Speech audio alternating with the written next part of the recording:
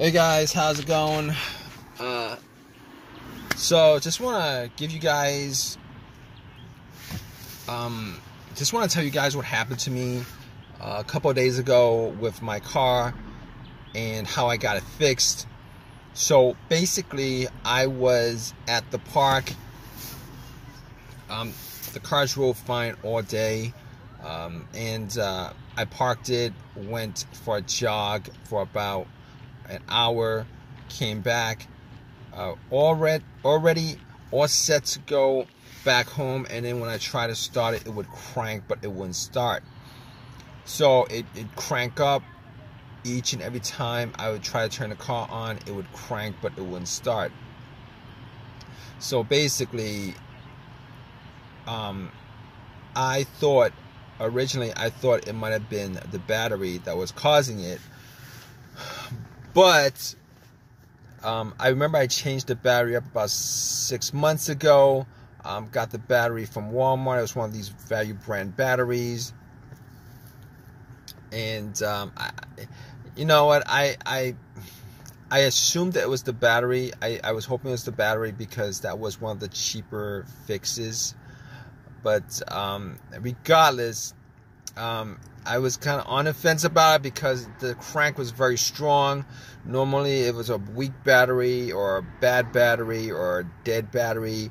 Uh, that would be um, a, a, kind of like a slow crank, a low crank, a slow crank, uh, or it wouldn't start off. So I was thinking, turn on the headlights, went out, checked up beams the headlights to see whether they were strong or not, just to give me, um, you know, just to see whether the batteries, where the batteries were at. So I went out, checked the headlights. The headlights were very, very strong, and at that point, I, I, I was thinking it probably wasn't a battery. So I popped the hood, and and looked at the battery just to see because that I thought that was the main reason for it.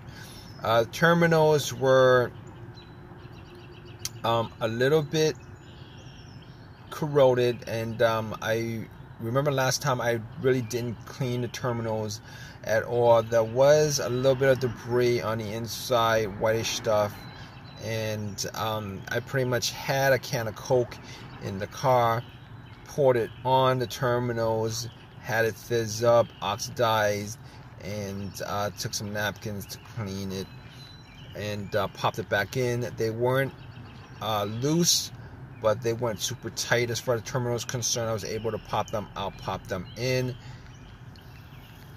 And uh, I was hoping that would resolve the issue.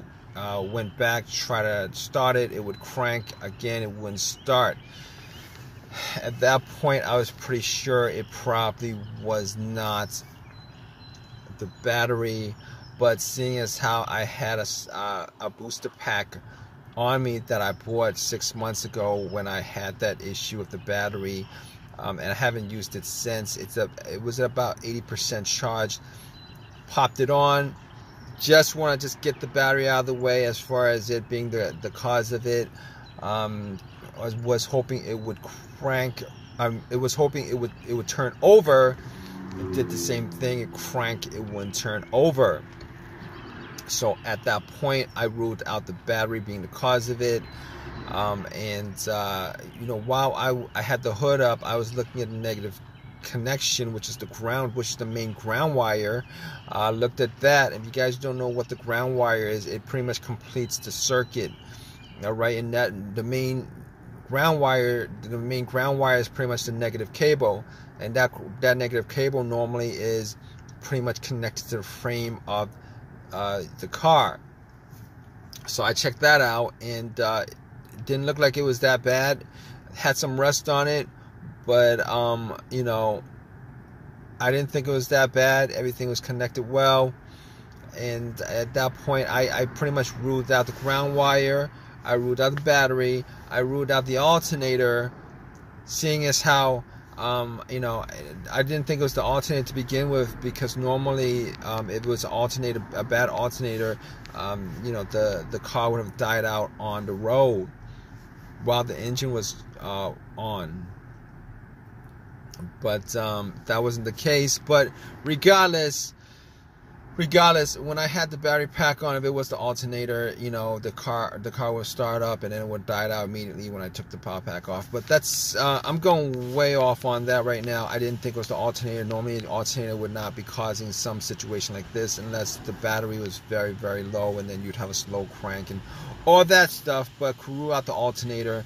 All right so basically after that i'm like okay it could be a bunch of other things. It's possible that it could be a bunch of other things. But then i realized there was no check engine light at all on there's no check engine light at all on the dash. And i haven't had a check engine light in a long while on this car. I haven't had a check engine light in a long long while on this car. And so basically at that point i could pretty much rule out a bunch of other stuff that actually had a sensor connected to it, whether it be the mass airflow sensor would that you know that would that could cause it if if, if, if that was if there was an issue with that.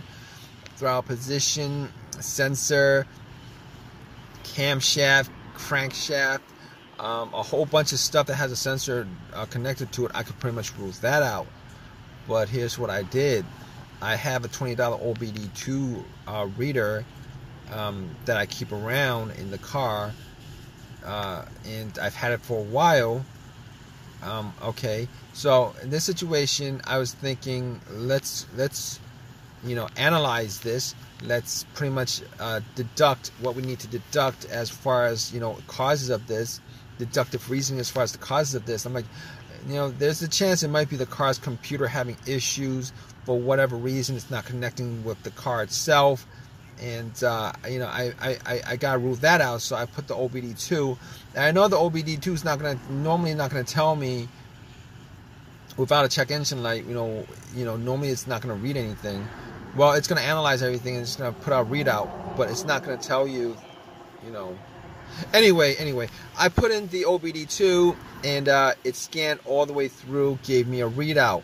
At that point when it gave me a readout, I knew that there was no issues with any kind of communication issue with the car's uh, ECU, the car's computer, um, the car's computer to to the car itself, and I, and obviously it came up with uh, there was no um, there's no codes whatsoever. Um, everything looked good, so so just from that, just from doing that, I could rule out the car's computer being the issue. I could rule out any single sensor that any every single sensor that may um, you know that may be causing this. I could any, anything that had a sensor that could be causing it um, that that that the OBD2 scanner could read. I could rule all those things out. Rule all those things out. So at that point, I was stuck with a couple of things. Uh, one of those things could be um, either a fuse, a relay, fuel pump, fuel pump filter, um, maybe the ignition uh, switch, maybe the, the ignition cylinder. But here's the thing. All right. Okay. So I got to the fuse box. Okay. We're going down the list of things to look for. I go down to the, I, I, I get to the fuse box and checked out all the fuses to make sure there were no blown fuse. Um, I did not have a fuse tester on me, so I looked. I tried to smell to see whether there was any kind of smell, any kind of burnt fuse, burnt smell, whatever. There was nothing like that. So um, I, I I I could kind of root all of that out. Not that not that you know I mean, I, I it's possible that you know it's it, there's a blown fuse and I wasn't able to spot it, but normally you, you would use this a fuse tester for that. So basically, we're left with um, uh, relays, relays, and uh, the fuel pump uh, as major failures that could be causing this issue. So I, I was looking, um, you know, before I even went there, um, I forgot to say that another test I did was um, originally, I thought it might be um, maybe a fuel pump issue or something like that. So what I did was um, I, I, I sat in my car, had the had the car all the way off, and what I was trying to do was I was trying to uh, trying to hear the fuel pump going off, the fuel pump priming. All right, so I uh, normally the best way to do that is if you had another person right next to where the fuel cap is, you take the fuel cap off, where you put gas in, and you would listen while somebody turns the car to the on position.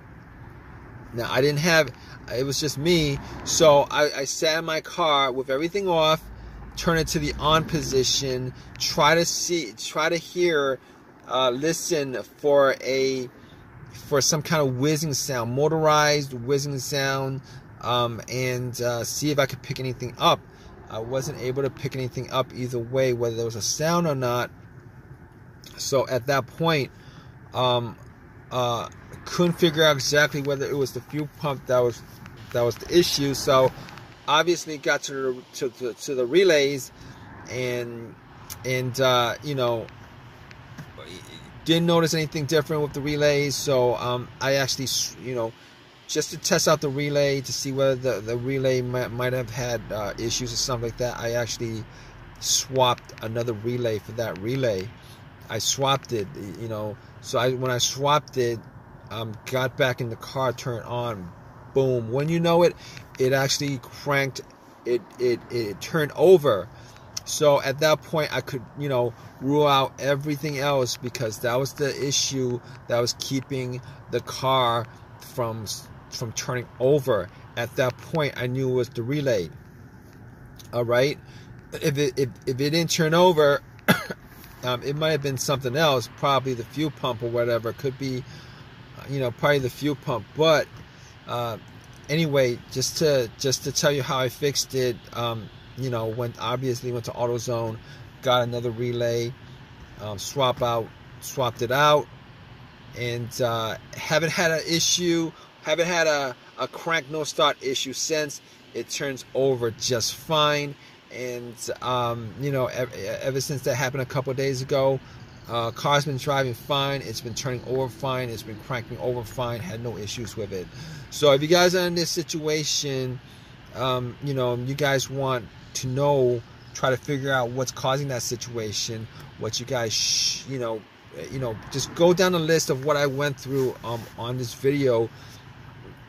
As far as just eliminating stuff that be, could be causing it, there's a good chance that you know your problem could be caused by one of those um, you know one of those things. But um, in any case uh, hope you guys enjoyed this video. If you guys have any comments please leave a comment in the comment section. Uh, please subscribe. Please give me a thumbs up. I really appreciate it. Hope this has helped you guys out. All right guys take care